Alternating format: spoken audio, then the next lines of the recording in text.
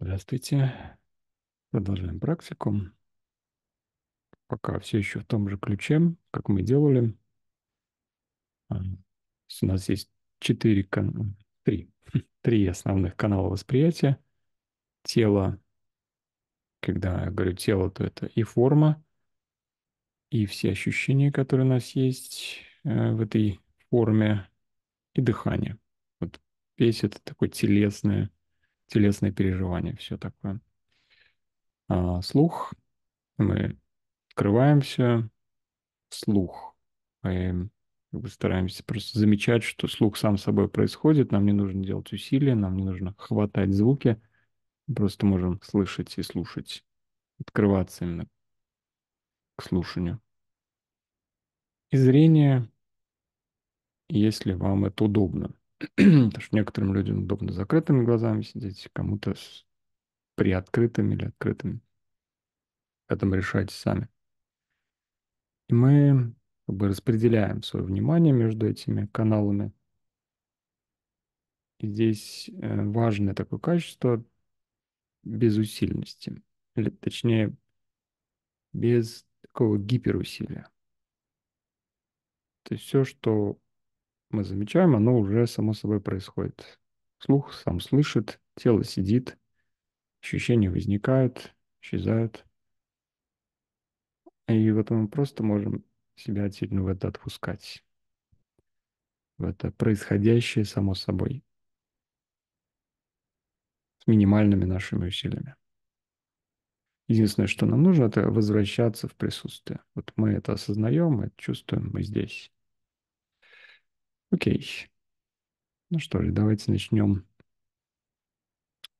с обнаружения своего состояния, какое оно сейчас. Опять же, состояние какое-то уже есть. Мы просто можем с ним соприкоснуться,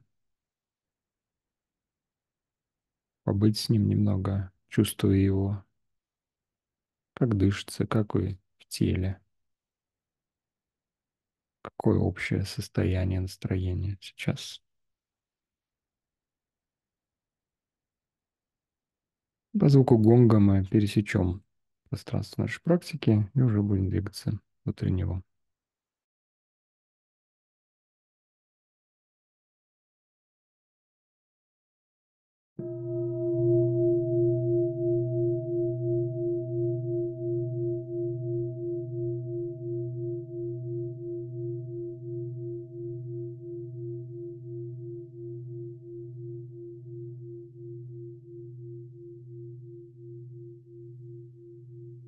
Начнем с формы, определения своего положения телесного. Если нужно, поправим эту форму как-то. Сядемся еще более устойчиво, стабильно.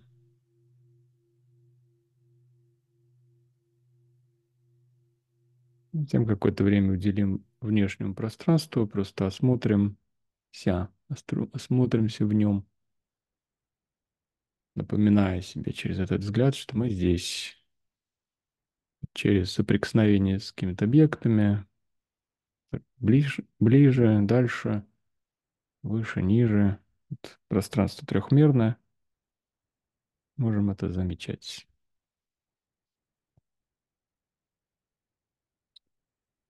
Пока вы так вот осматриваетесь,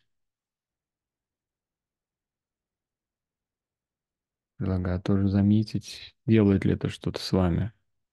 Может быть, едва заметное. Когда вы входите в больший контакт с тем местом, где вы есть.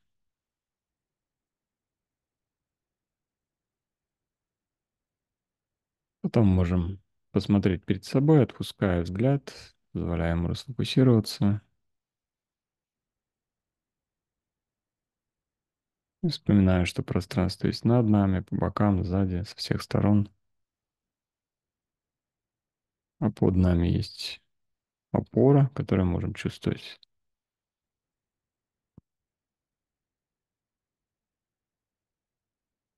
Мы сидим здесь, сейчас, в этом месте.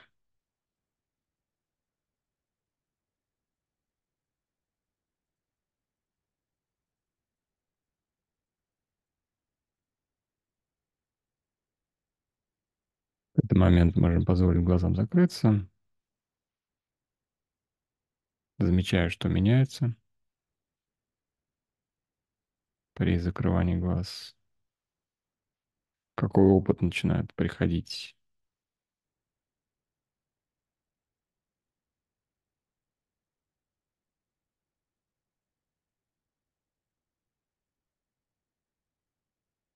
Можем вздохнуть несколько раз поглубже, отпуская выдох.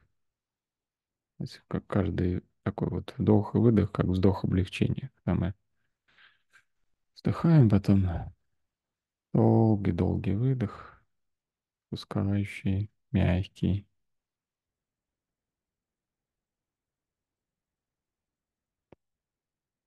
И в какой-то момент приведем внимание в таз с точки опоры, почувствуем контакт с опорой. Побудем немножко с этим ощущением.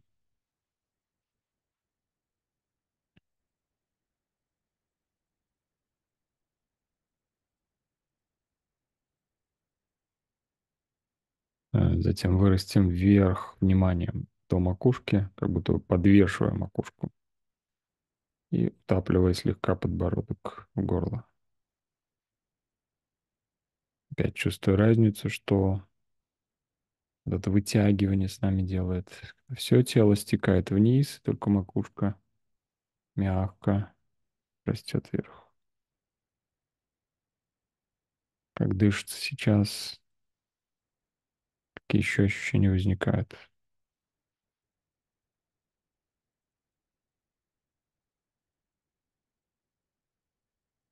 Потом соединим вместе вниманием макушку и таз.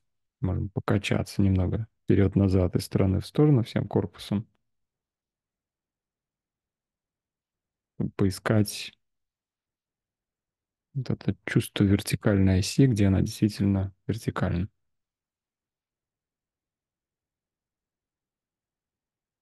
Найдя ее, соберем все вместе. Тяжелый таз, вертикальная ось, макушка устремлена наверх. Дыхание движется теле здесь же. Живот можем отпустить, предлагая ему участвовать в дыхании чуть больше.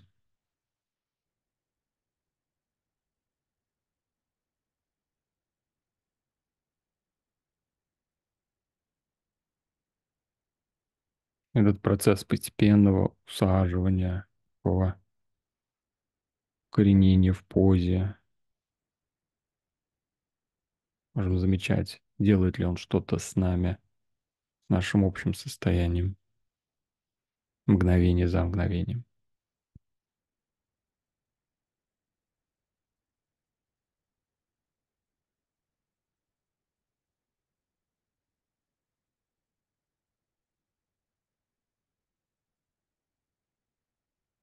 Ну, затем, если вы следуете этому ритуалу, мы можем положить одну руку на грудь, другую на живот, почувствовать этот контакт, может быть, поздыхать немножко поглубже, обратиться к ощущениям соприкосновения руки, тела, чувствуя дыхание, может быть, тепло возникает, может быть, еще какие-то ощущения есть.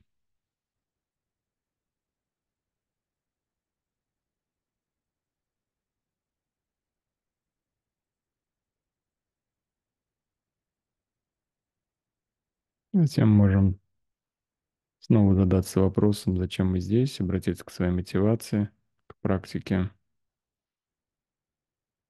вслушиваясь в нее, в этот зов.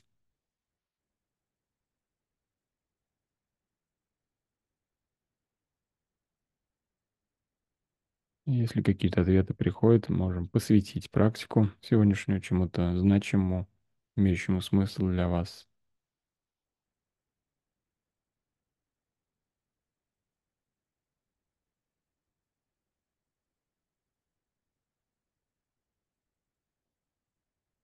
Если вы это делаете, посвящение,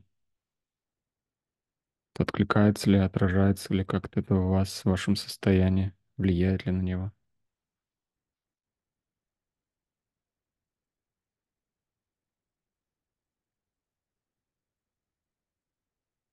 Ну, затем можем положить руки удобно, еще раз вернуться к общей форме. Таз, вертикальная ось, макушка устремлена наверх, точнее подвешен слегка. Подбородок утапливается немного. Живот мы отпускаем. Руки лежат спокойно. Каждый раз собираясь в этой форме, мы можем приходить к большему присутствию. Чувство присутствия. Мы здесь. Дыхание движется здесь же.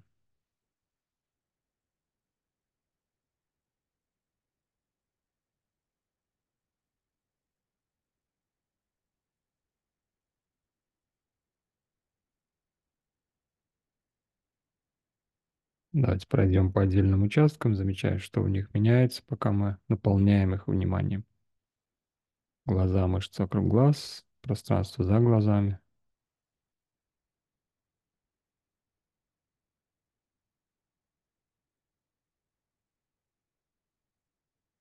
Нижняя челюсть, ее отпустить, позволить повиснуть, зубам рожаться.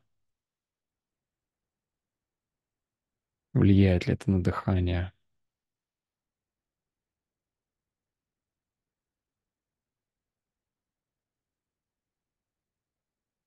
Язык во рту, как он себя чувствует.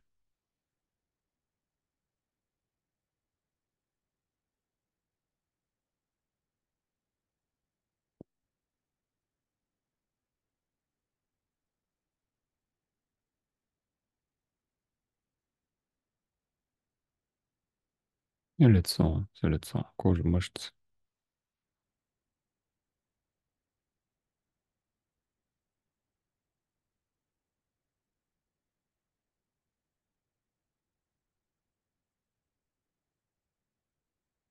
И затем затылок, шея, плечи.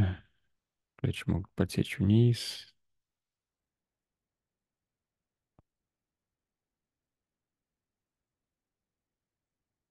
Когда голова, макушка подвешена, как будто за ниточку подвешена. Подбородок слегка утапливается в горло, а плечи стекают вниз за весом рук.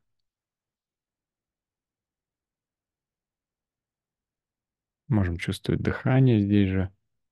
Плечи немного движутся.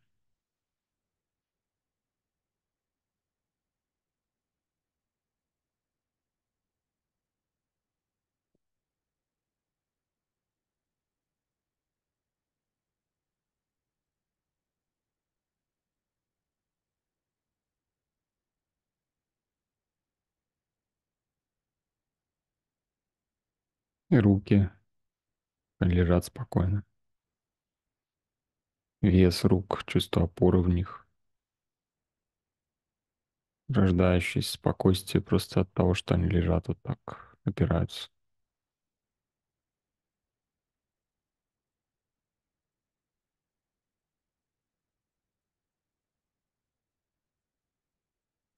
И затем спина, дыхание в спине, как спина движется каждым вдохом и выдохом.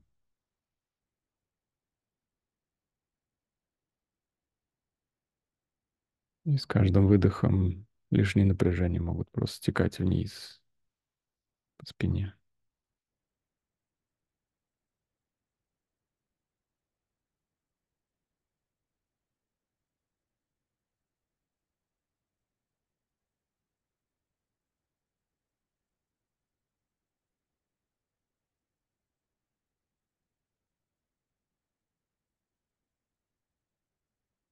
Затем вся грудная клетка, ее движение. Движение ребер, передней стенки, спины, все вместе.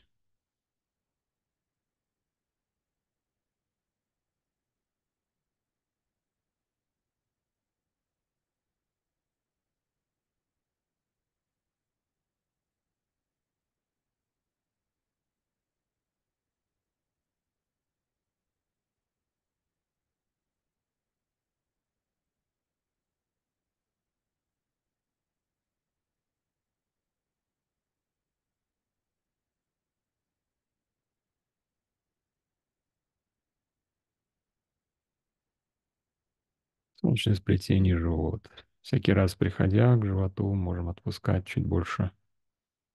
Если замечаете, что он втягивается, просто немного отпускайте его.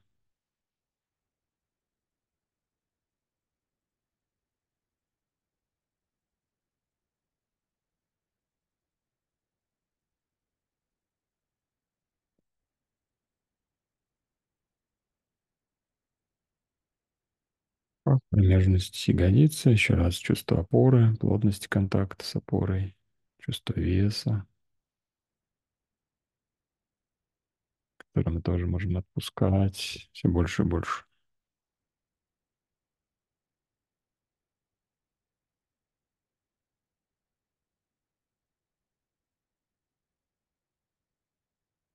Ноги от тазобедренных суставов к стопам.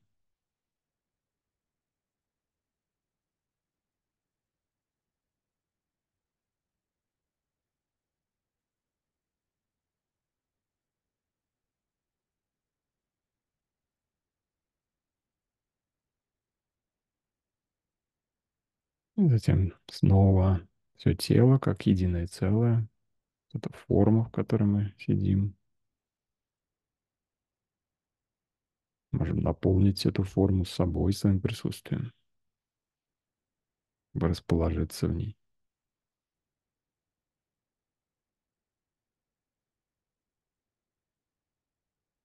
При этом дыхание течет здесь же, и можем быть со своим дыханием, так как оно есть. Давайте возьмем один дыхательный цикл как отрезок времени, с которым можем быть, чувствовать его, проживать его.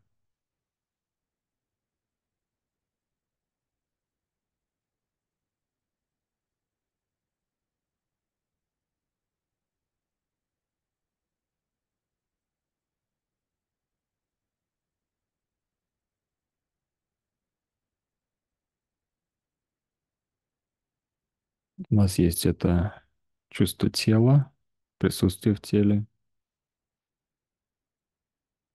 Можем одновременно чувствовать форму, которая держит нас в этой позе.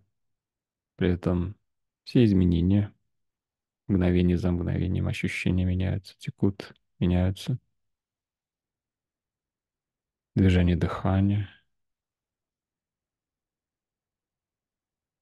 Можем замечать, что все это происходит само собой с минимальными нашими усилиями. Можем себя отпускать в это.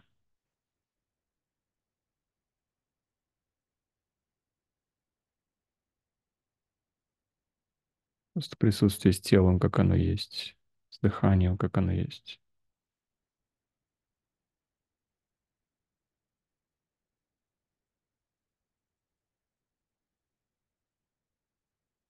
Затем также вспомним о слушании, отпуская себя в слушание. Оно тоже уже есть, мы слышим, это происходит само собой, без усилий.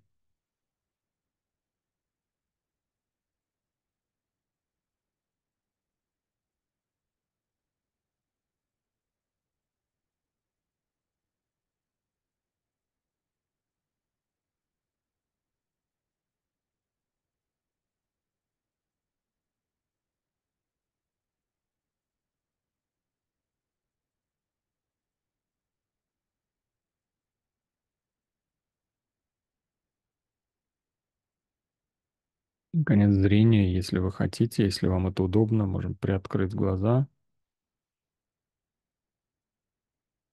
на ту ширину, которая вам удобна. Отпускать зрение, позволяя ему как-то расслабляться и расфокусироваться.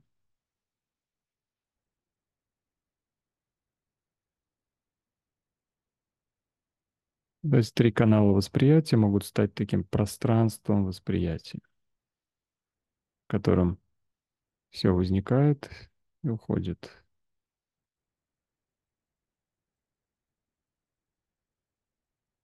Внешнее, внутреннее, что движется сквозь наше восприятие, сквозь это пространство восприятия.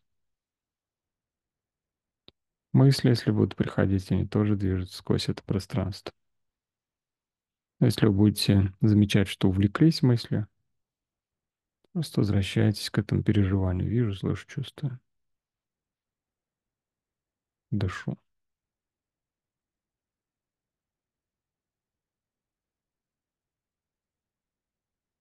Время от времени будет звучать гонг, колокол, напоминая нам о присутствии, пробуждении в присутствии. Можем слушать, как он затухает, утихает, а мы продолжаем сидеть и слушать. Давайте так посидим.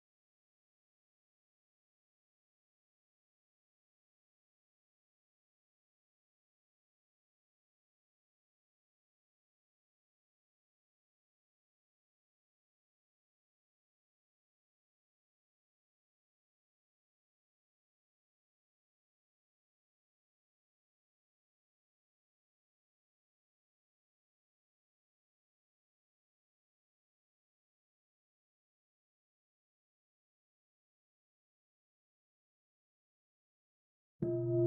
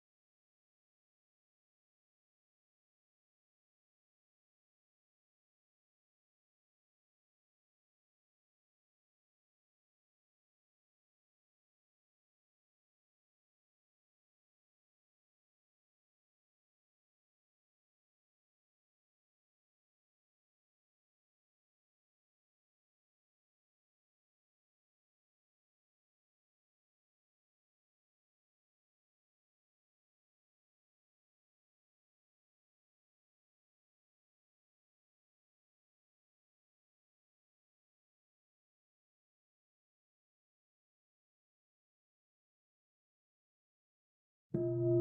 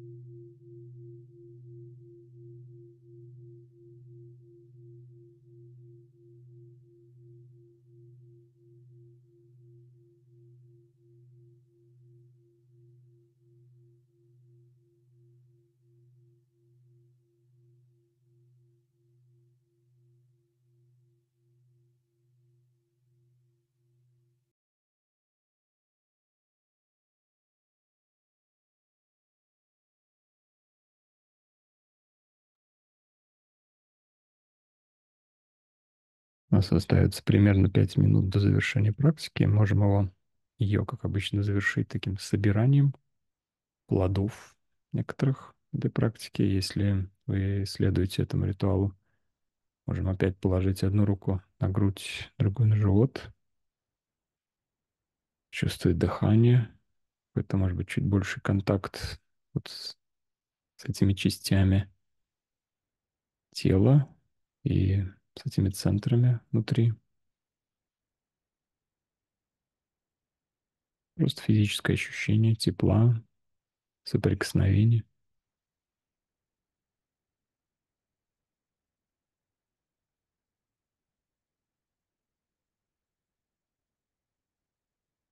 Можем обратиться опять к текущему состоянию, какое оно сейчас. Изменилось ли ваше состояние хотя бы немного? С начала практики за эти 35 минут. Если изменилось, то какие качества проявляются сейчас чуть больше, чем были?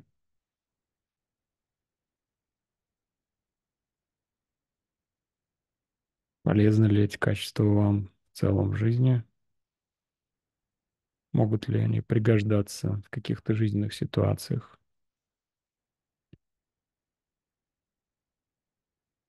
Если бы вы из этого состояния, в котором вы сейчас находитесь, действовали, не знаю, разговаривали с человеком, делали какую-то работу, то каким бы было это действие?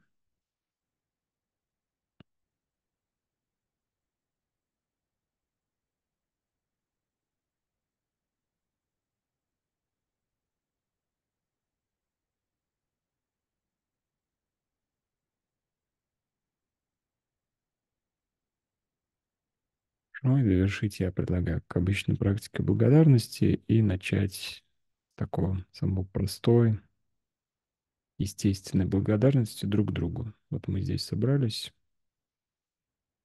можем сказать друг другу спасибо.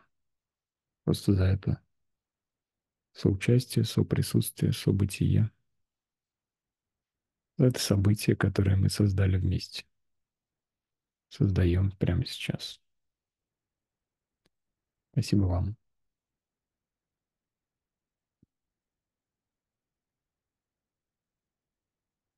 Всем можем вспомнить своих близких, тех людей и других существ, с которыми мы создаем свое событие. Поблагодарить их за их присутствие в нашей жизни, эту встречу.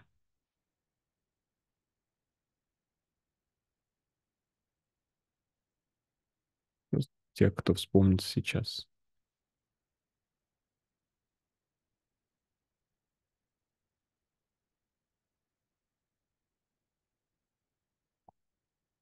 Еще чуть больше расширяя во времени этот круг благодарности, можем повспоминать людей и других существ, кто были в нашей жизни и ушли из нее уже. С кем-то наши пути разошлись, кто-то умер, но они по-прежнему нашей памяти. Можем сказать им спасибо за какие-то участки пути, которые мы прошли вместе.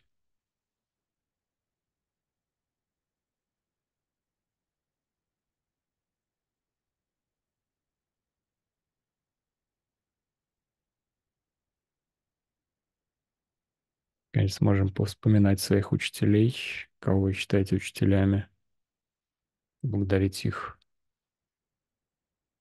тех, с кем вы встречались лично, тех, кто пришли через книги, может быть, своими словами, тех, кто вдохновил вас просто своим образом жизни.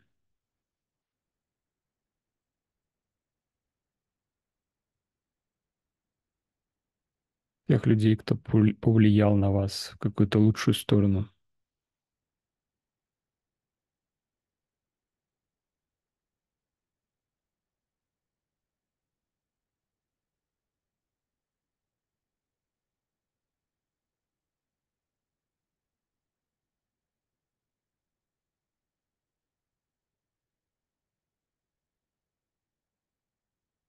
Если вам захочется поблагодарить еще кого-то или что-то, что я не упомянул, кого я не упомянул, можем это сделать.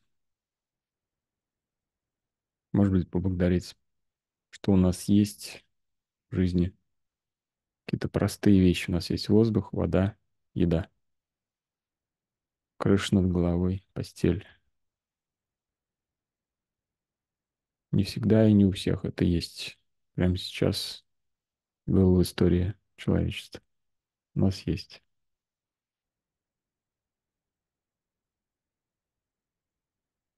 Можем напомнить себе об этом.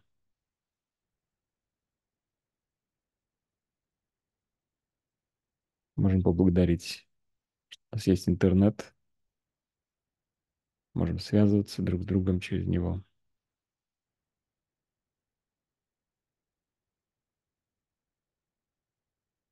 Конец я предлагаю поблагодарить сам наш путь, который у нас всегда есть, к которому мы всегда можем вернуться, если отклонились от него. Путь воплощения чего-то важного, значимого. У нас есть какой-то зов. Рассказать спасибо этой возможности идти по пути. Наконец, поблагодарить себя, человека, идущего по этому пути, возвращающегося на него, откликающегося на зов.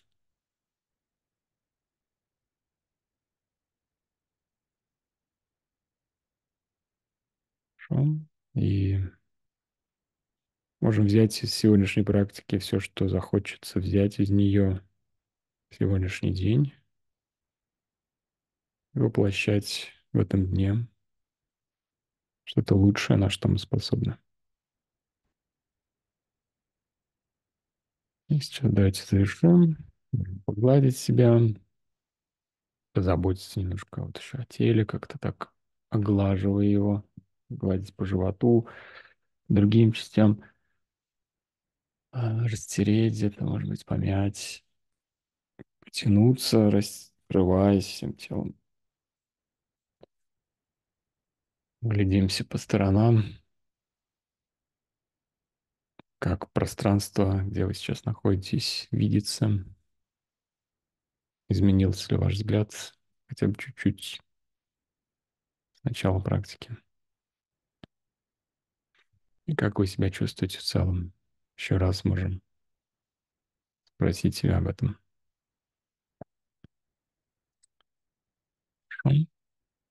И по звуку гонга закроем это пространство, завершим.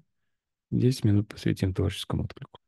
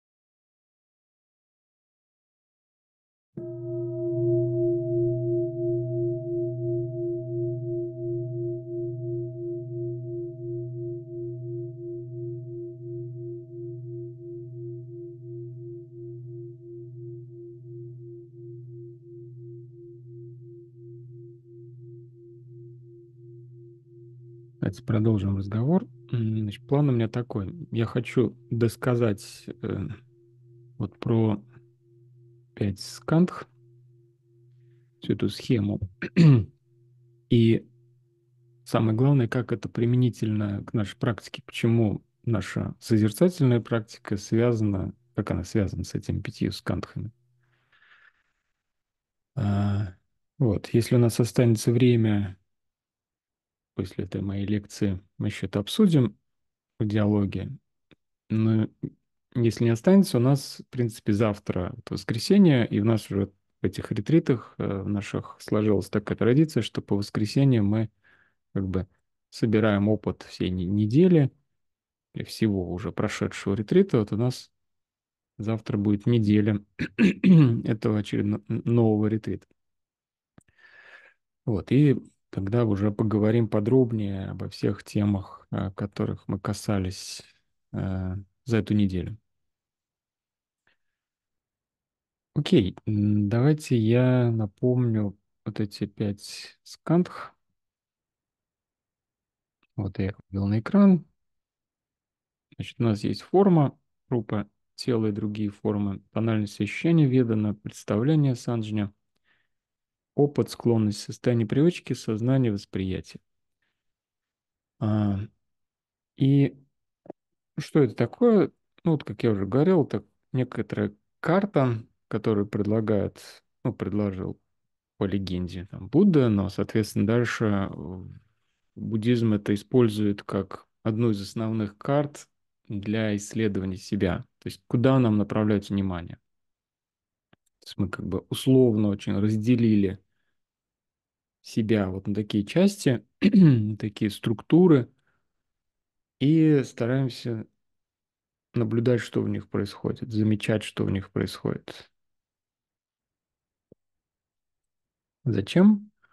Чтобы не быть ими обусловлены, обусловленными тотально. То есть просто эта идея состоит в том, что вот мы обусловленные существа, мы живые существа, и все живые существа так или иначе обусловлены ну, более-менее вот этими а, определенными качествами, в зависимости там, от своего развития сознания, так сказать, развитости у них может быть в большей степени включены или меньше. Но вот у нас, у людей, кажется, эти все пять качеств есть, мы их можем обнаруживать в себе. Но напомню, что вот какая моя идея вчера, я высказывал, что каждая карта, она нужна для чего-то, для определенного маршрута путешествия. У маршрута путешествия есть свои задачи. Наша задача здесь освобождаться от э, того, что в буддизме называется духа, то есть специфического вида страдания, который возникает как раз из этой обусловленности, захваченностью определенными состояниями, а, которые нас сужают вот лишь до режима выживания живого существа. А, и это причиняет нам уже как э, людям, как существам какого-то другого, наверное, порядка все-таки, чем прочие животные, а, страдания дополнительные, которые, кажется, у животных его, кажется, нет. вот. И я хочу сейчас обратиться сначала вот э, к этой схеме, потому что, мне кажется, она очень важна именно в практическом смысле. А, то есть, что, опять же, предлагает буддизм, как посмотреть на восприятие, что у нас есть, эм, у нас есть орган восприятия. Понятно, что орган не сам по себе, он связан ну, со, со всей нервной системой, с мозгом, с, э, вот, все это устройство. То есть глаз – это просто такой внешний, внешний орган всего восприятия зрительного. Но вот этот глаз, он касается объекта, и дальше уже, уже в нашем сознании возникает это сознание зрения, то есть сознание объекта. Почему это важна эта идея вообще? Что, что у нас как-то по умолчанию, вот, ну, я не побоюсь здесь обобщения, по умолчанию мы рассматриваем мир, видя его как объективный. То есть мир, состоящий из объектов, в нем есть вот разные объекты. Вот я сейчас держу чашку, я ее воспринимаю как объективный предмет. Ну, то есть независимый от меня, просто существующий сам по себе. Куда бы я ни посмотрел, небо, оно существует сам по себе. Само. Стена, стол, компьютер, вы в компьютере сидите. Мы все существуем сами по себе, как бы, как объекты, но это не так. Это не так. И вот, собственно, а, буддизм, он как бы предлагает нам посмотреть на что это не так, увидеть это, распознать, что в каждый момент времени, когда я смотрю на какой-то объект, это я смотрю на него, и это я вижу. То есть я не могу себя как субъекта из этой картины удалить. Это всегда я вижу объект.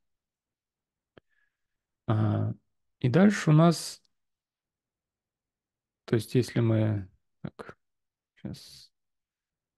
Меня опять начинает застревать это. Эм, если мы посмотрим на все остальные каналы восприятия, то у нас создается такая вот картина.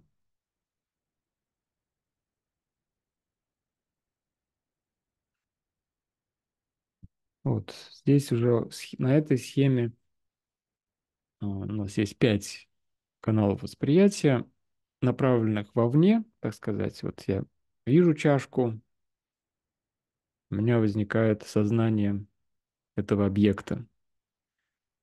А я могу понюхать, у меня возникает сознание обоняния. Могу попробовать на вкус, сознание вкуса. Стучу по чашке, сознание слуха. Я и чувствую руками сознание осязания.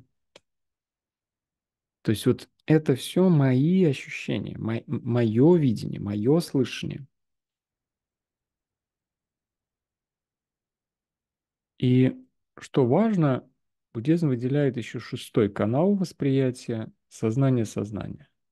То есть когда, скажем, я чашку отставляю и просто ее представляю себе, вспоминаю о ней,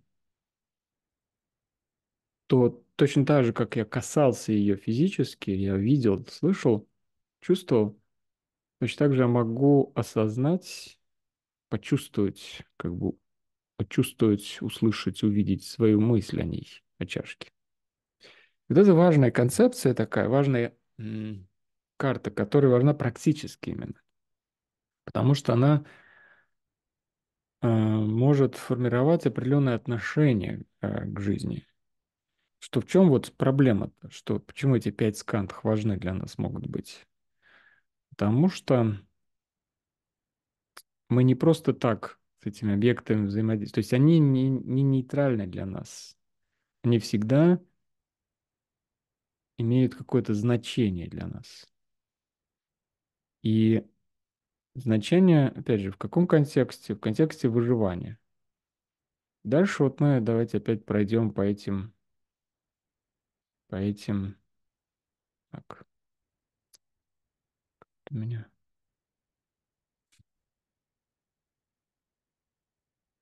время, ну окей, вот так.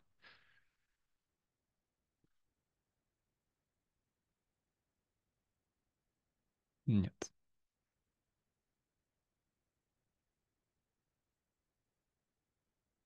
А это программа показывания картинок. Что-то с зумом не очень коннектится.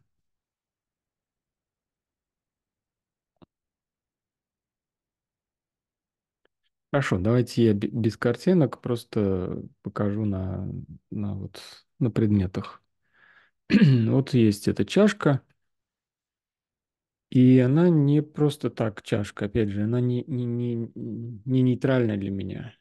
Я ее выделяю как нужный, хороший для меня объект. То есть тогда получается, что и вот есть форма, появляется форма в моем восприятии, и к этой форме сразу же у меня есть отношение приятно, нейтрально, неприятно. То есть форма и вот то, что называется ведано, мое переживание, оно неотделимо друг от друга. Я все время, куда бы я ни посмотрел, я вижу формы, наделенные для меня определенными качествами. Например, я вот сейчас смотрю на небо, оно голубого цвета, голубой цвет мне нравится. Я запрограммирован на то, чтобы мне вот такое небо нравилось. Если бы сейчас были какие-то нависающие тучи, скорее всего, у меня было бы другое, другое отношение к этому. Соответственно, вот важный такой момент, что никогда мы не смотрим нейтрально на, на, на мир. Мы все время с ним соотносимся. И тогда важно, из какого модуса мы соотносимся. Если из модуса выживания, тогда этот мир весь все, время, он для меня какой-то, он для меня приятный или неприятный, или нейтральный. И это обусловленность, на которую указывает буддизм. А в чем здесь проблема, что ну, как бы я действительно тогда делаю, во-первых, себя центром Вселенной, а это просто не так. Я тогда все начинаю э, оценивать только, ну, вот такой, из такой, можно сказать, эгоистической позиции, что все тут для меня, и я не вижу ничего э, как бы помимо этого. Например, все нейтральное, оно становится, как бы, я его игнорирую, потому что нет яркого сигнала для меня. А, вот. Ну вот я все-таки вроде бы мне сейчас, наверное, получится продемонстрировать. Вот появляется этот объект, и дальше вот эти картинки, которые я показывал, вот здесь явно, опять же, если вы любите клубнику, как люблю ее я, то у нас появляется явное предпочтение, явное приятный акцент, и тогда желание сразу из него возникает. Желание это съесть. Вот здесь очень важно, опять же, что ведано, опять же, не просто так. Я почувствовал приятное, и все. Я тут же хочу это употребить. Я тут же хочу это схватить. Я тут же хочу это сделать своим, присвоить это, сделать своим, съесть это вот этот автоматизм здесь является проблемой некоторой, да? потому что, ну вот вчера мы об этом говорили, что если у меня нет осознания этого, нет тормозов в этом, нет чего-то другого, тогда я автомат этого. И тогда не всякая клубника мне полезна, не всякое сладкое мне полезно. Очень часто бывает то, что привлекательно, не полезно.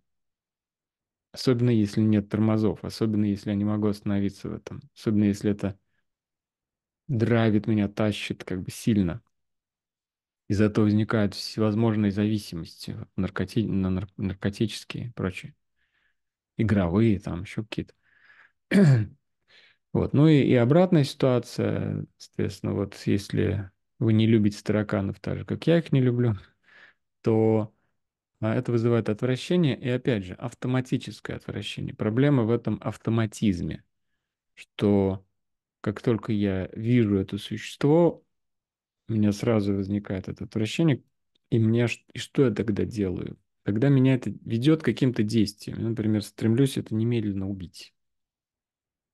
Знаете, я просто вспоминаю, например, случай, а, на одном из своих первых там ретритов э, медитативных, таких долгих по випассане. А там же как-то все очень обостряется, ну и вообще вот эта осознанность э, становится такое, вырастает, так сказать. И мы начинаем замечать более тонкие состояния, вообще про проявление состояния. Мы их просто начинаем замечать. Мы становимся менее автоматичными. И вот э, понятно, что там летом комаров много. И вот э, я помню, что я сижу, медитирую, уже какой-то там день, это випассаны, не первый, уже такое у меня состояние чувствительное, раскрытое. И садится этот комар, и я чувствую, как у меня возникает этот импульс, ну вот его просто вот, ну, прихлопнуть, но как этот импульс происходит? Я, я замечаю, что я начинаю ненавидеть этого комара. Понимаете, вот, вот в моем сознании, в моем уме возникает эта ненависть к этому существу. И, ну, я тогда его, в общем-то, не убил, я его отог- от- отогнал. Но даже если бы убил, это можно сделать очень по-разному. Вот здесь проблема, на которую указывает, это вот само это, сама эта ненависть, которая меня захватывает. Вот этот комар сел на меня, и вот как мы обычно убиваем всех комаров, которые нас кусают, с такой силой, что мы могли бы вообще прихлопнуть всех комаров в округе. Мгм. И вот это само чувство, само переживание этой захваченности, вот этим отвращением, которое порождает вот эту ненависть, вот оно проблематично. Ну, потому что если я автомат этого, то оно тогда распространяется на очень многие факторы жизни. Ну, там, не знаю, бог с ними, с комарами, но мы можем точно так же относиться к другим людям, к дру- каким-то событиям и, что еще важно, к самим себе и к своим каким-то частям внутренним. Потому что вот эта проблема, на которую, ну вот, собственно, когда мы говорим о... Так, сейчас где-то... Нет, сейчас. Когда мы указываем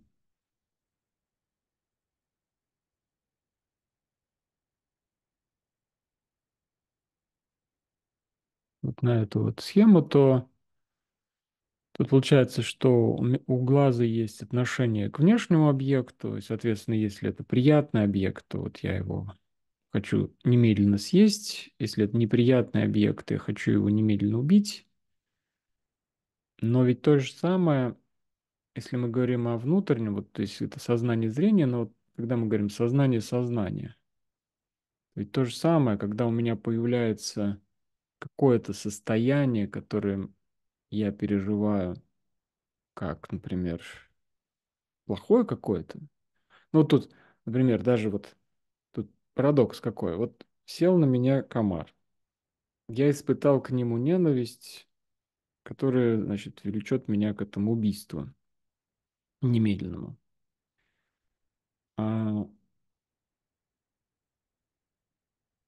но при этом я могу, вот тут такой вот у меня может трюк возникнуть в этой же, например, медитативной практике, что я начну ненавидеть свою ненависть к комару.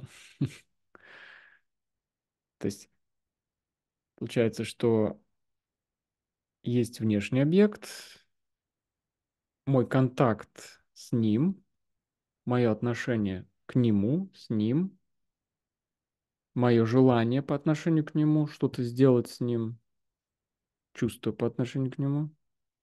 Но тут же у меня есть, собственно, уже это чувство внутреннее, вот эта ненависть, мысль, чувство,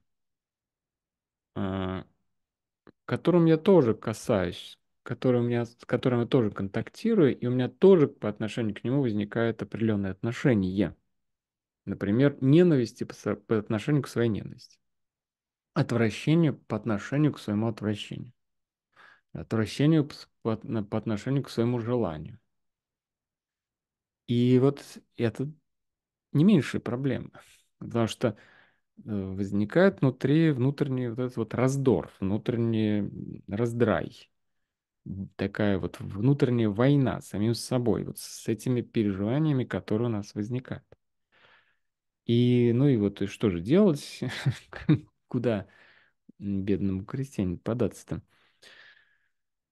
Ну вот, давайте еще раз я пройду по всем пяти скантхам. Значит, у нас есть, появляется объект, внешний или внутренний, контакт с этим объектом внимания.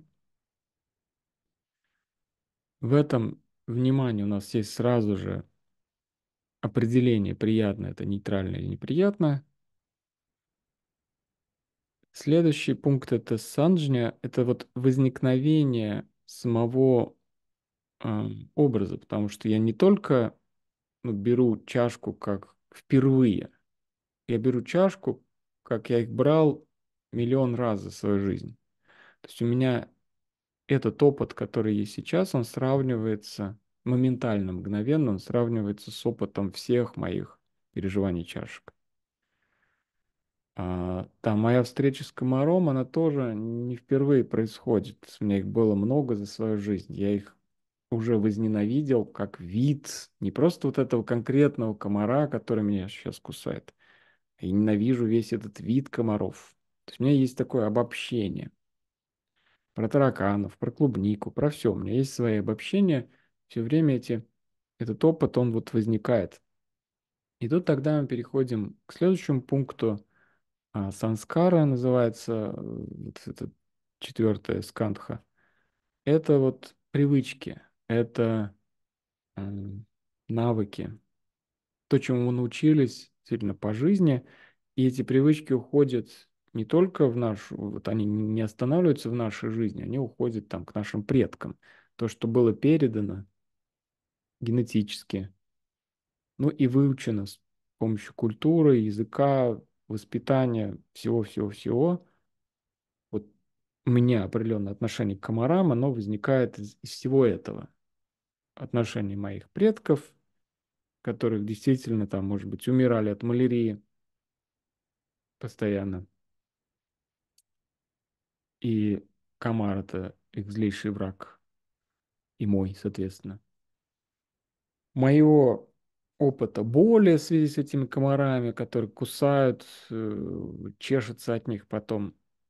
Вот здесь очень важно понимать, что комар не становится хорошим для нас. Он, он, он плохой для нас, он вредный. Вопрос лишь, как я э, действую, из какого места я действую. Потому что ведь и убить можно по-разному.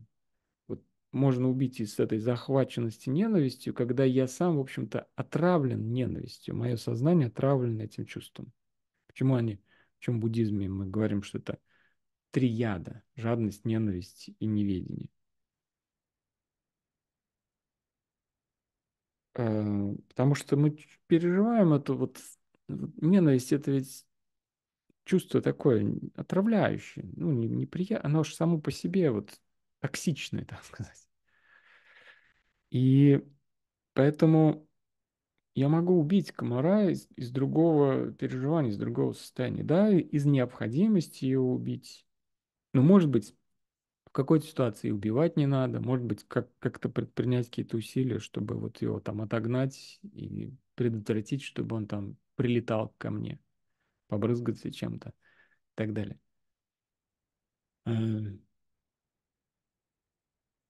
То есть вопрос не в самом действии, а вопрос в том, что его, ему предшествует, что нас ведет к действию. Ведет ли нас состояние вот этой захваченности или какой-то более такой сознательный выбор, более открытый, более... Ну вот открытость здесь, наверное, хороший, хороший как сказать, указатель на качество. Да? Когда мы захвачены состоянием там, ненависти, например, то мы закрыты в нем, мы сужены в нем, оно нас вот тащит в себе. Если мы осознаем, у нас появляется больше как простора. И, соответственно, больше выбора. Убивать или не убивать, как убить, что сделать, можно ли причинить меньше вреда и так далее. Вот поэтому здесь это непосредственно связано, вот эта осознанность наша непосредственно связана с этикой, потому что этика предполагает выбор из какой-то другой точки, не из э, жадности и ненависти. Ну вот, значит, у нас есть э, форма, рупа, Ведана, санджня, как это возникает, есть санскары, это наши привычки, ну, чему мы научились вот к тому моменту, как мы делаем какой-то выбор, делаем какое-то действие. И, наконец, вот э, пятое, на чем я вчера, до чего я вчера не дошел, это называется виджняна, и это э, сознание, но э, часто это переводят как сознание, но это в смысле восприятия. И мы здесь снова можем вернуться к этой вот э, картинке, как возникает у нас сознание чего-либо. Вот здесь это как раз э, виджняна. Глаз контактирует с объектом, возникает это сознание зрения. И виджняна, она важна именно в практическом смысле. Вот когда у меня появляется объект внешний, то я его воспринимаю, ну, как бы сначала пассивно, я еще ничего не делаю. Вот я смотрю на него, просто глаз распознает, там, взгляд распознает, сознание зрения распознает эту форму, оно распознает какие-то оттенки, оно распознает вот этот объект как таковой. То есть я еще с ним ничего не делаю. Да, как я уже говорил, у меня в сознании уже заложено определенное к нему отношение. Приятно, нейтрально, неприятно. Я, моя история связана с ним. Вот эти все четыре предшествующие скандхи, они здесь же. Это все есть. Но в целом, если я осознаю просто возникновение этого объекта и пока ничего не делаю, то это довольно, ну, какая-то такая пассивная, пассивное восприятие. В смысле, что в нем нет действия еще, да? Я просто, я просто вижу, я просто точно так же звуковой объект, я просто слышу. Тактильный объект я просто чувствую. А, ну вот э, дальше, если мы перейдем к сознанию сознания, вот здесь возникают проблемы. Потому что проблема, на которую, собственно, указывает буддизм через эти пять скандх, это проблема отождествления. С чем я отождествлен? Кем я себя считаю? Вот. Кто я такой? И вот если глаз воспринимает чашку, там, любой объект, так вот в начале просто как бы более пассивно, то есть еще не делает, то есть сам глаз ничего не делает с чашкой, то когда мы воспринимаем свою мысль, вот не зря я говорю, свою мысль, когда я воспринимаю чашку, я воспринимаю чашку, она там. Когда я воспринимаю мысль, мысль где? Мысль у меня, мысль моя. У меня есть чувство, что я породил мысль. У меня есть переживание, что я породил какое-то чувство, потому что оно принадлежит мне, ну вот там вот, за, за этой кожей. Чашка, мне еще предстоит с ней что-то сделать, она как бы внешняя по отношению ко мне. Мысль, чувство, состояние внутреннее по отношению к, вот, к моему восприятию. И тут возникает проблема вот этого отождествления. Такая, какой-то парадокс такой, противоречие внутреннее. Потому что с одной стороны, у меня есть чувство, что это ведь я думаю, это ведь я чувствую. Значит, я как бы порождаю эти мысли и чувства. Я за них ответственен, вот за то, что они появились просто. Но вопрос большой, который ставит буддизм, так ли это? Мысль как появляется? Вот я ее прям вот решил подумать и подумал, или большинство мыслей, они как-то так сами собой вот появляются? Вот мы, мы же все это видим, э, осознаем в, в нашей медитации. Да, мы сидим, мы говорим, окей, буду сейчас наблюдать свое дыхание. Думать не буду ни про что, ни про прошлое, ни про. Вот буду наблюдать, задание такое даю себе, буду наблюдать дыхание. И через сколько секунд у вас появится мысль? О чем-нибудь, вот о чем угодно, иногда каких-то совершенно далеких, посторонних вещах, непонятно почему, как эта мысль залетела. Иногда что-то насущное, конкретное, там, да, какая-нибудь там тревога, что-то вот сейчас буду делать, или, или какая-нибудь обида из прошлого, или что еще, вот что недавно произошло. Но все равно я этого не хотел, я этого не заказывал, оно как бы появляется в сознании. Это важная такая практическая позиция, которую буддизм предлагает. Ну, во-первых, позиция просто такая исследовательская. Вот посмотреть честно. Это я прям вот силой воли какой-то своим выбором порождаю мысль, я ее рождаю, или чувство, или состояние. Или в моем субъективном опыте они действительно просто сами возникают откуда-то из вот этого конгломерата, который я называю собой. Да, они, конечно, отсюда возникают.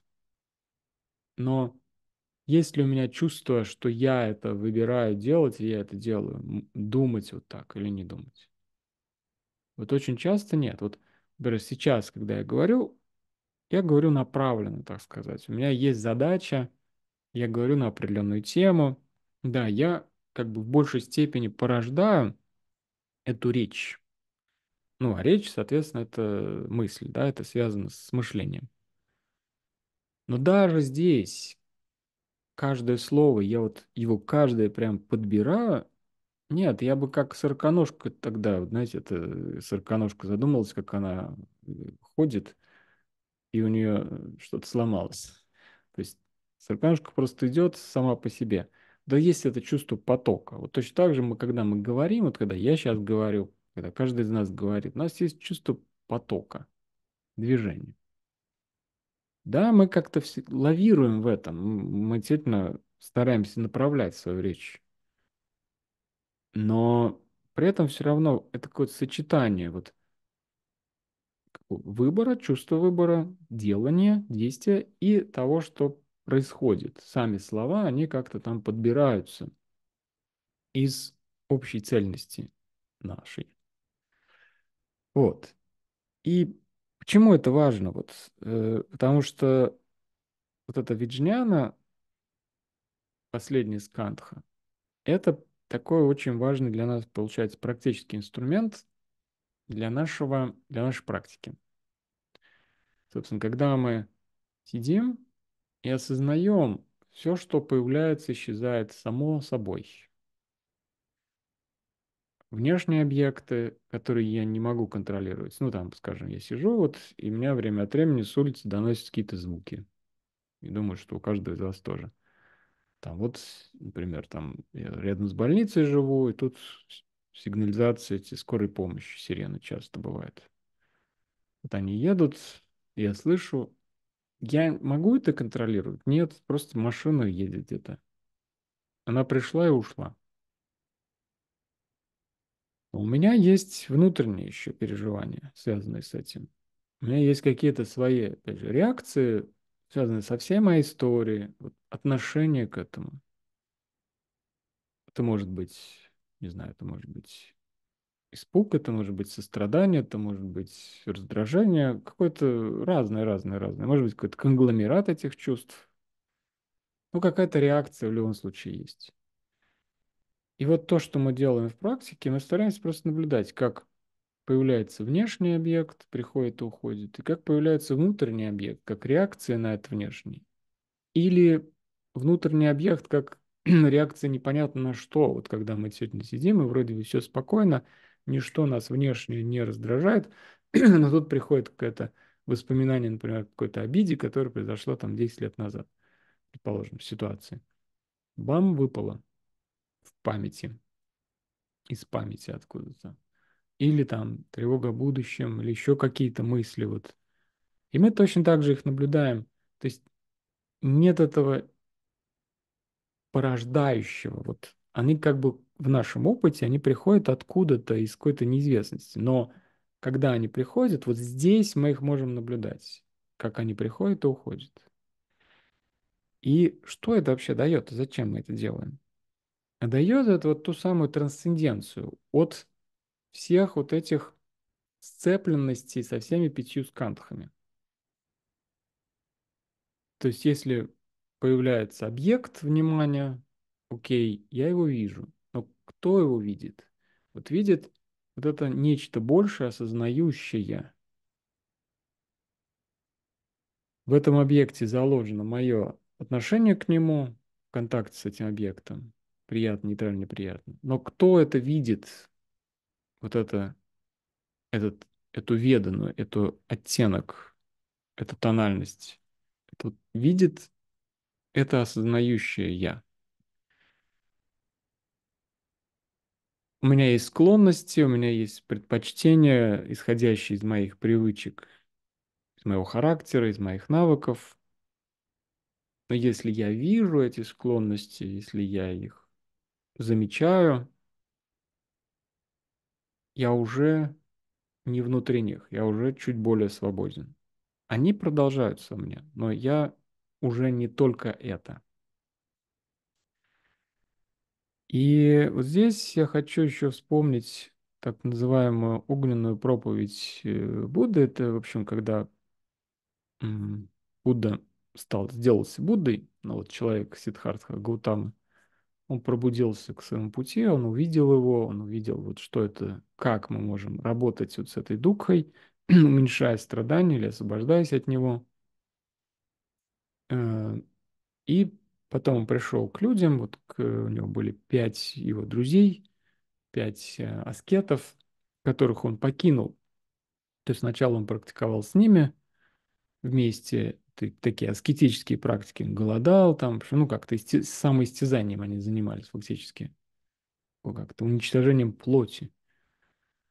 Но он понял, что это не путь для него, и он ушел вот в свое личное уже дальнейшее путешествие, когда он сам остался один под деревом, и он вот определил для себя такой серединный путь, что он не будет потворствовать желаниям прямо активно, но наслаждением каким-то, но и не будет, наоборот, эм, как-то у себя аскезой вот этой страшной как-то подавлять, репрессировать, так сказать.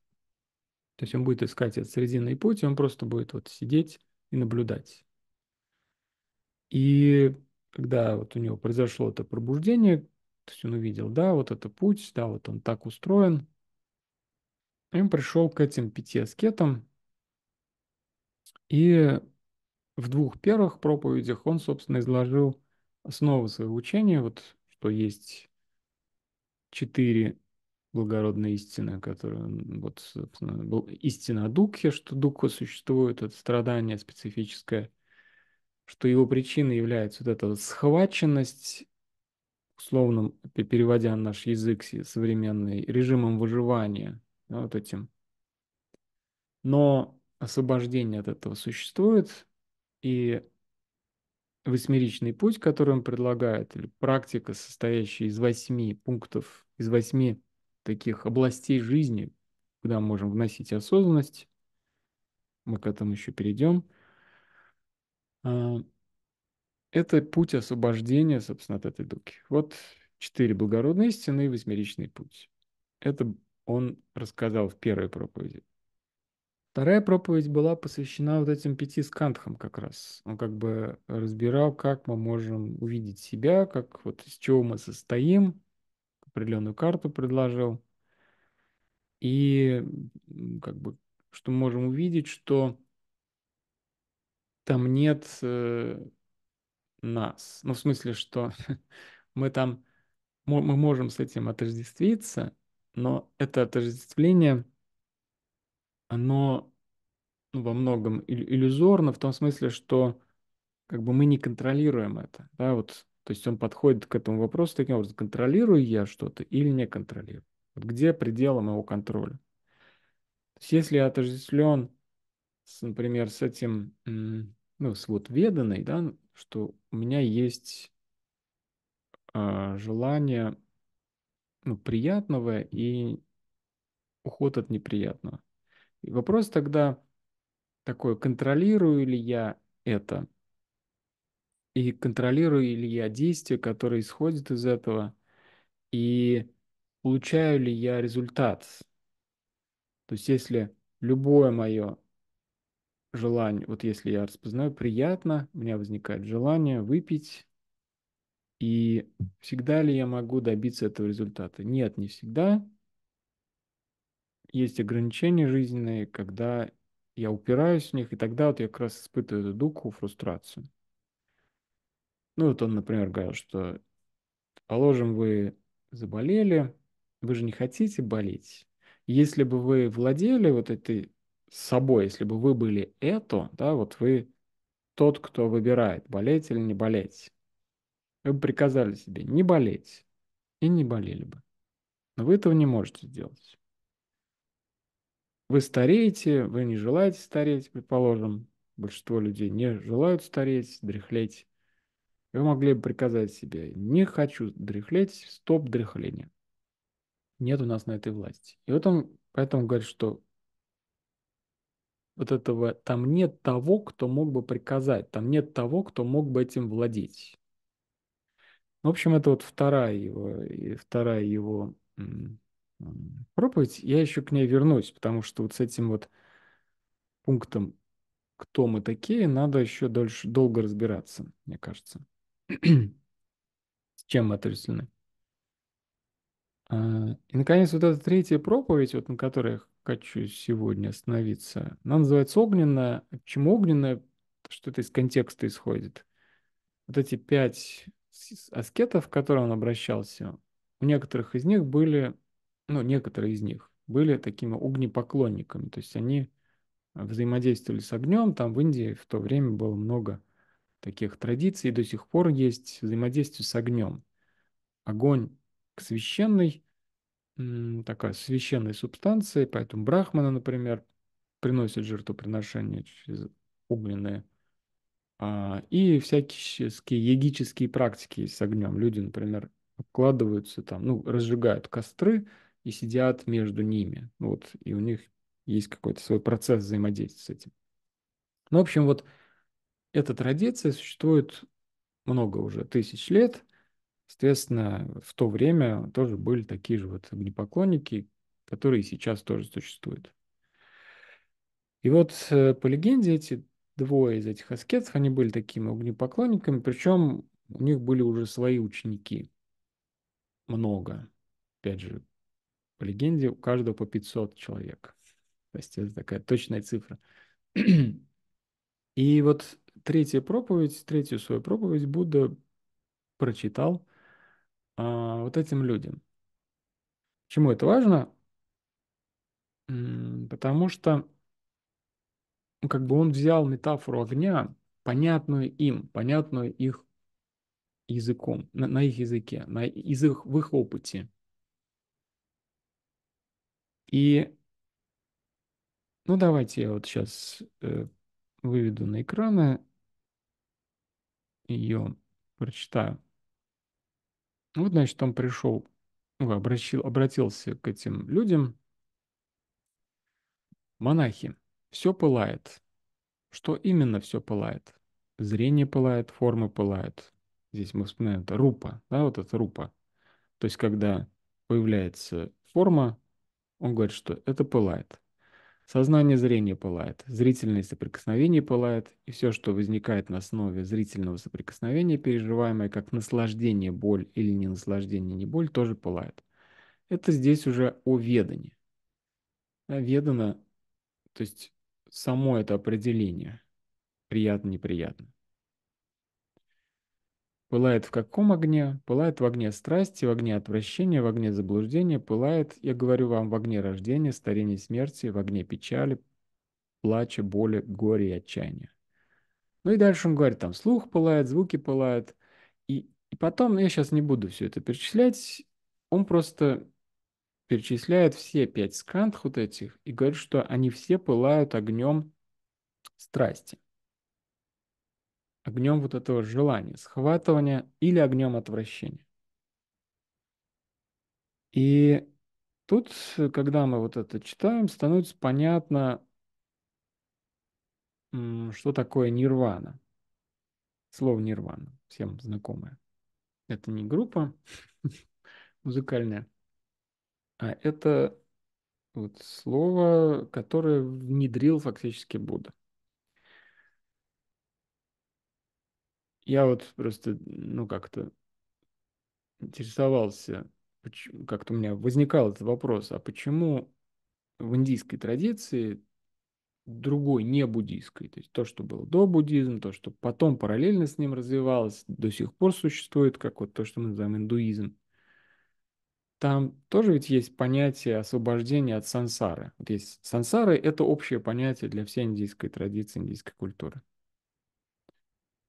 Но, да, ну и, и соответственно, задача человека выйти из сансары, из, из этого сенсорического, сенсорической обусловленности, вот этим выживательным режимом. Но большинство этих индийских традиций, они употребляют слово мокша для этого освобождения не говорят про нирвану. И только в буддизме, ну или уже потом в тех учениях, которые, на которые буддизм повлиял, они используют слово нирван. А нирвана вообще-то переводится как э, затухание. И вот тут становится понятно, просто если он обращался в начале своего пути к вот этим огнепоклонникам и говорил, что все у нас наполнено вот этой страстью, да, вот это огонь тогда – то есть получается, что он говорит, что когда я смотрю на форму, у меня сразу же возникает огонь этого желания какого-то, или отвращения к ней, или желания. Вот схватить или избегнуть, схватить или избегнуть. А нирвана – это вот затухание. Вот этот огонь затух. И Тут может быть два отношения к этому, вот к, к, к этой парадигме. Вот опять снова вспомню, что это карта. Это карта, состоящая вот из двух модусов, так сказать. Вот есть нирвана, то есть есть это сансара, то есть наша жизнь э, в обусловленностях, выживательными программами. Есть как бы затухание этих программ, но продолжение существования какого-то, да, какого-то. Когда мы не хватаемся и не избегаем. И если мы рассматриваем эту карту, то у людей может появиться ну, какое-то направление. Да? И многие буддисты, многие буддистские течения или отдельно взятые буддисты – они делают своей целью, сделали своей целью нирвану саму по себе.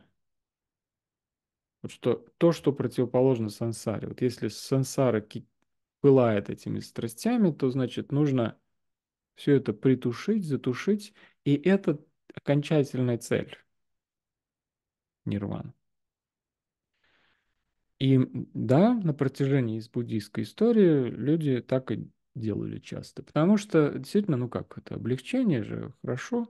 Но это подразумевает, что это подразумевает определенную пассивность, да, это уход фактически от жизни, потому что ведь режим выживания, он же не зря режим выживания. Нам нужно жить, нам нужно что-то добиваться, нам нужно чего-то избегать, нам нужно за что-то бороться, нам нужно быть вовлеченными в жизнь, где есть вот эти все аспекты желания и притяжения, избегание, значит, э, там, отвращение, избегание. Мы не можем уйти от этого тотально. Даже какой-то вот этот самый там аскет, ушедший в лес, он все равно в этом продолжает жить. Но вот как бы цель такая все равно появляется. И существует множество буддизмов или буддийских практиков, сделавших нирвану своей целью. И поэтому у буддизма, в общем, часто есть такое, ну, как бы мнение, так сказать, людей, не буддистов, или даже самих буддистов, ну, что это такое учение пасси пассивности такой, да, какой-то пассив... Э, уход вообще от жизни фактически. Такая вот, ну вот все утихает, все затихает, все затихает, и человек как бы становится таким никаким, он ничего не хочет, ничего не желает, он, значит, нет у него никаких ни желаний, ни, нет никакого отношения специфического к миру. Но, в общем-то, с самого начала буддийского движения этого появились люди, которые были с этим не согласны. Вот что не, это не может быть целью. потому что мы хотим продолжать быть вовлеченными в жизнь активно. И тогда появляются вот так называемые махаянские движения, пути, и дзен один из них, где появляется фигура Бодхисаттвы, который не хочет э, уйти от жизни, уйти от, э, от сансары куда-то в какую-то противоположную нирвану. То есть это не цель. Нирвана не цель для пути Бодхисаттвы. Путь Бодхисаттвы – это перестройка мира фактически. Вот когда Бодхисаттва посвящает свою жизнь освобождению всех чувствующих существ, это именно про это. Что не, не, не мне нужно уйти в нирвану какую-то вот эту, чтобы все затухло, во мне только. Вы уж как-нибудь там сами давайте боритесь тут, значит, э, воюете друг с другом, а я буду, значит, в нирване пребывать. Вот путь Бодхисаттвы, он другой. Нет, мы все тут вместе, мы целые, и освобождаться будем, будем все вместе. Но нирвана тогда становится для нас определенным качеством, качеством необходимым, но не целью. То есть это одна из фактически практик наших становится. Такое вот, я это называю нирванение. То есть это процесс. То есть нирвана – это не цель, которую мы достигаем в этом пути, а это процесс, который мы используем для чего? Для того, чтобы лучше увидеть. Вот для чего. Потому что если я нахожусь вот в этом захваченном состоянии, вот когда он говорит про этот огонь, огонь, он же вот это вот, я, я захвачен им, мне через этот стену этого огня сложно видеть реальность по-другому. Сложно видеть ее чище. Потому что, ну как, огонь? Огонь же обжигает, да? Я схватился за чайник, я дернул руку, болит, я уже сильно обусловлен этим. То есть вот о чем эта метафора огня. Ну и опять же, я хочу подчеркнуть, что это метафора все-таки, метафора. Эм, просто она нам понятна из буквально от физического опыта, что огонь обжигает.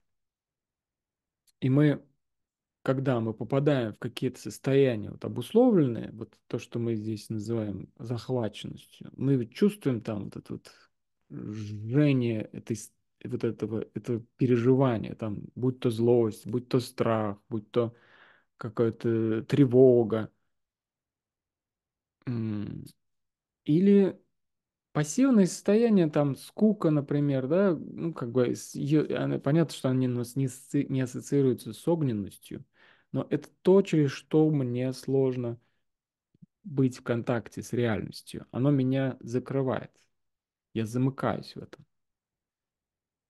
То есть вот э, почему, может быть, метафора огня здесь подходит практически для любого чувства, состояния, где мы захвачены, даже если оно у нас не ассоциируются, ну, например, там депрессия или скука, они не ассоциируются с, с огненными состояниями, да, у нас скорее вот гнев там ассоциируется, ну, может быть, там какое-то раздражение, но какой здесь аспект, мне кажется, вот важен, почему эта метафора работает? Вот когда я действительно обжегся, вот я, например, сейчас суну палец в чайник, а там горячая вода, я обожгусь, я буду очень сильно обусловлено этим чувством. Очень сильно обусловлено. Я буду им захвачен. Вот эта боль, она меня схватит, и я ни о чем другом думать не смогу. Ни, ни на что другое видеть ничего. Вот у меня тут сейчас небо. Если я сейчас обожгусь, обварюсь кипятком, какое там небо мне? Все, у меня все мое внимание сконцентрировано на этом. Я, я собран в этой боли своей. И вот в этом смысле, в этом смысле, на мой взгляд, он говорит, что все, огонь, если мы внутри этих программ, мы ими просто обусловлены, мы ни о чем другом думать не можем. Вот хочу чего-нибудь и хочу, и вот вцепился в это. Вот избегаю чего-нибудь, и вот избегаю. То есть такая вот эта ограниченность, суженность. Вот какой аспект огня, как мне кажется, на какой он указывает здесь. Окей, и тогда у нас появляется вот это понимание нирвана, что это некая практика, фактически некая и одновременно некое свойство, которое мы стараемся воплощать своей, своей какой-то вот этой созерцательной практикой, своими методами.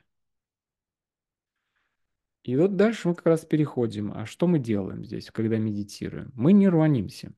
И вот не зря я в конце практики спрашиваю, задают вопрос, а вот если мы сейчас будем действовать, то какое качество действия проявится? Ведь нашим действием сильно, ну, к действию подталкивает нас какая-то мотивация. Она исходит из какого-то состояния. Соответственно, если я захвачен, обусловлен желанием, страстью, вот этой там избеганием, то я, ну, это меня и толкает. Я с этим отождествлен. Я только это. Если я способен выйти за пределы этого через осознание, через осознанность, и вот здесь помогает нам вот этот последний пункт виджняна, да, когда ты, то, что я говорил, что я не порождаю мыслей, но я их наблюдаю. Вот это качество виджняна – это способность видеть, способность наблюдать. Я не порождаю своей тревоги, я не порождаю своей ненависти, я не порождаю своей ничего из этого. Я просто вижу это. И что мы делаем в нашей практике медитации? Мы этим и занимаемся. Мы садимся, и мы притихаем. Да? И вот то, что мы... Чему я, например, провожу вот эту настройку вот таким образом?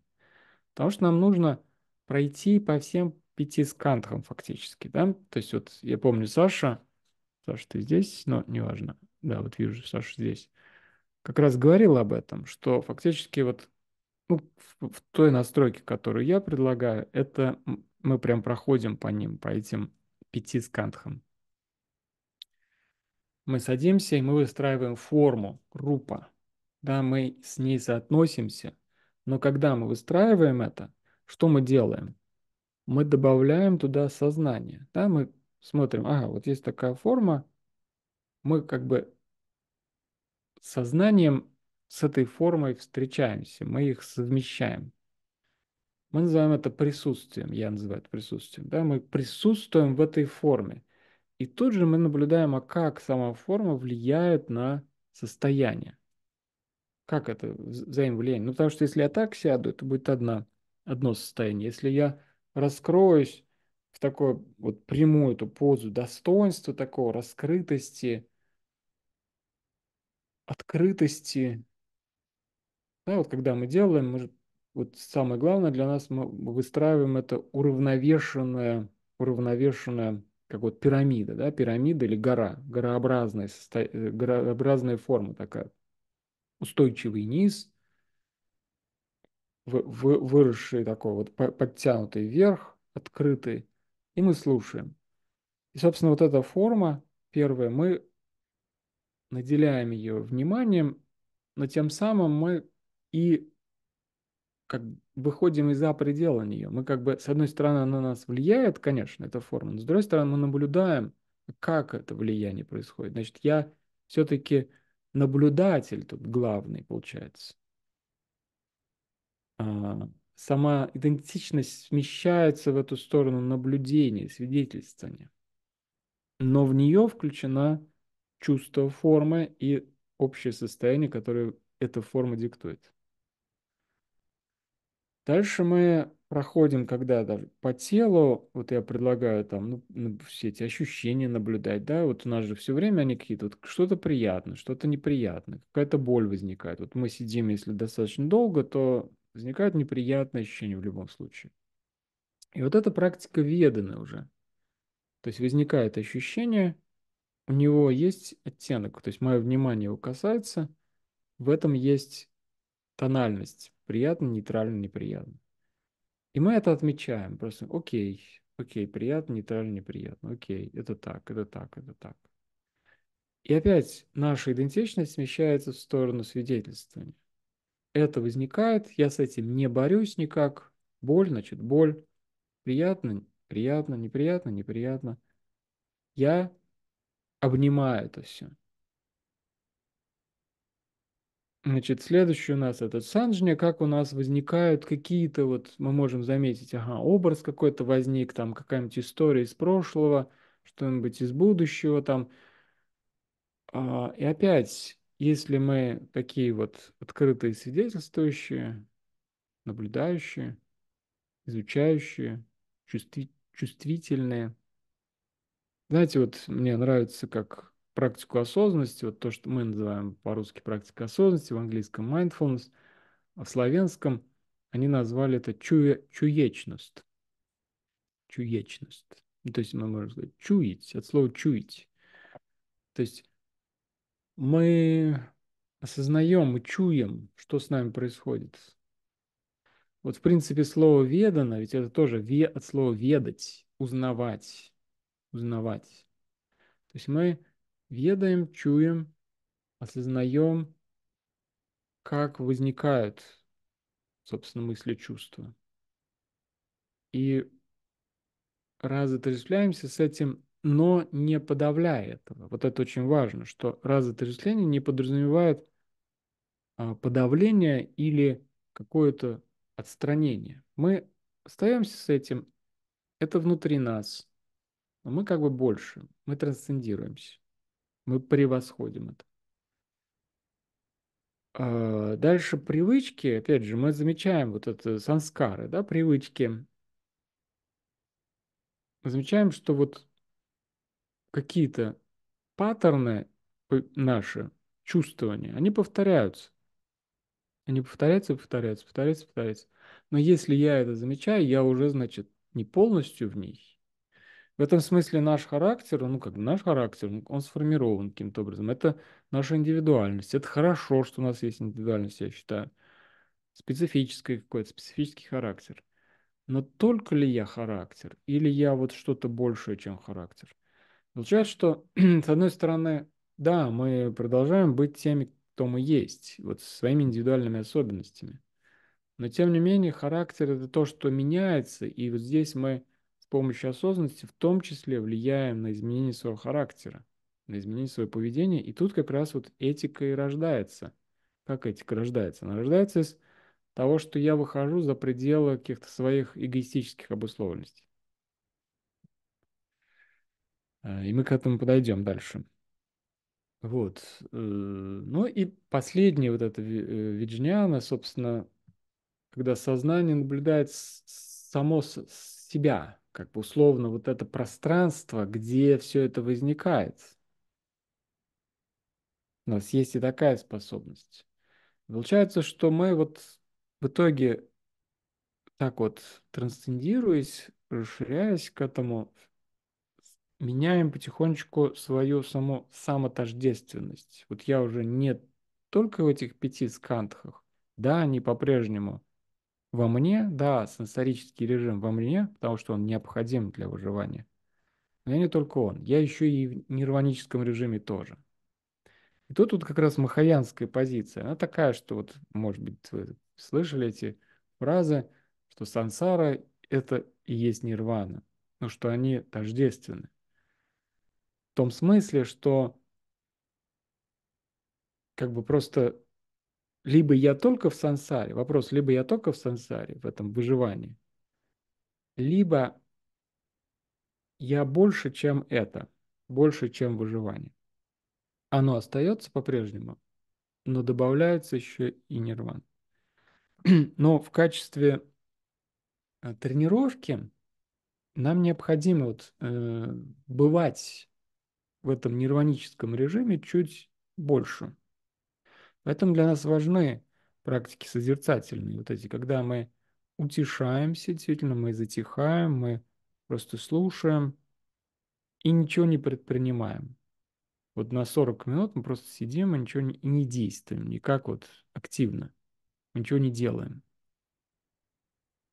Потому что, ну, собственно, эта тренировка, она и позволяет узнавать этот режим большего, больше равновешенности, больше ясности, когда мы меньше захвачены вот этим огнем внутренним. Когда мы просто чуть более просторны, чуть более открыты. что это нам позволяет делать более свободные выборы какие-то в жизни, то есть не руководствоваться только режимом выживания. Вот. И поэтому пять скантх вот этих, это фактически еще и пять, ну, как я уже говорил, это то, куда мы направляем внимание, то, с чем мы работаем, и то, как, как мы работаем. То есть, если я вижу форму, я отмечаю, вижу форму. Если я замечаю, что у меня к этой форме сразу же прикреплено определенное отношение, приятно, нейтрально, приятно, я замечаю это. Отмечаю. И ничего не делаю с этим просто. Я говорю, окей, я это замечаю. В тот момент, когда я замечаю, я уже не обусловлен на 100%. Что я это заметил. Ну и со всеми остальными скантхами так, точно так же. И когда мы вот сидим в практике медитации, они как бы, все это в нас вложено внутри. В смысле, все пять скантх этих. Все как объединено в единую практику. Мы сидим со всем, что есть, как мы есть сейчас. Поэтому какое бы у нас состояние ни приходило, ни, мы замечаем его и замечаем, как оно уходит. Какое бы у нас э, чувство, какая бы мысль, то есть в этой практике у нас нет задачи избавиться от мыслей, чтобы вот как стоп-машина, мысли больше не приходить. Это невозможно, и это нам ни к чему в контексте нашей практики. Нам наоборот, нам нужно научиться видеть, как они приходят и как они уходят. Вот что наш, вот в чем наша задача. Нет у нас задачи такое стать какими-то абсолютно чистыми от мыслей состояний. Нет, у нас есть задача замечать, как мысли, состояния, чувства возникают, но как они уходят, и что мы то пространство, где они приходят и уходят. Вот это само отождествление смещается в эту сторону. Ну вот, это все, что я хотел сказать на сегодня. Уже у нас не остается времени на обратную связь. Так что будем это завтра все обсуждать уже. Завтрашнюю встречу полностью посвятим диалогу. Соответственно, я хочу вас поспрашивать, как э, для вас это все в практическом именно смысле, работает или не работает, э, нужно или не нужно, хорошо или нехорошо и так далее.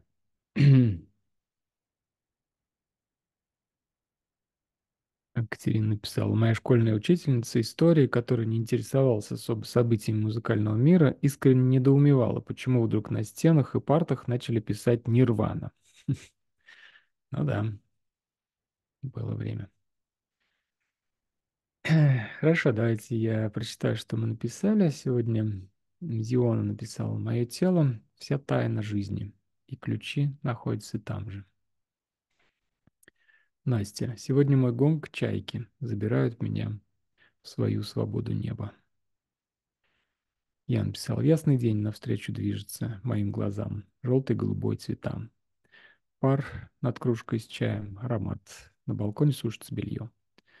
День навстречу движется моим глазам. Алексей, великий и могучий наш язык, народу русскому всегда дает подсказки.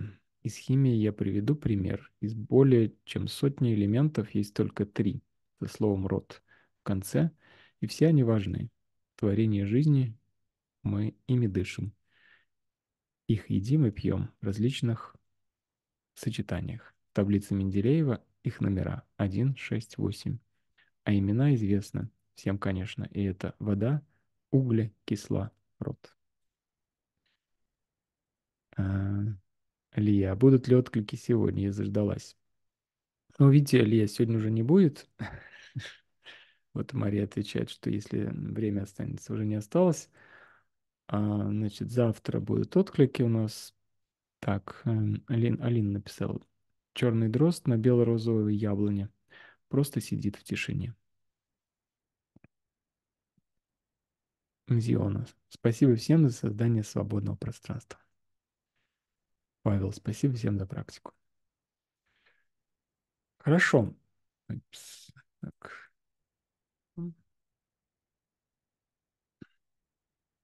Значит, эм, про вот эти пять скантов я, кажется, все рассказал, все, что мог и хотел. Завтра давайте обсудим э, всю эту неделю и теоретические темы, и как вы практически с этим тоже встречаетесь. И потом пойдем дальше. Мы пойдем там немножко в другую тему, но будем опираться на предыдущую. И у нас добавится новая практика вопрошания. Окей, можем открыть окошки. Кто еще может их открыть и хочет? Спасибо за встречу. До следующей встречи. Счастливо.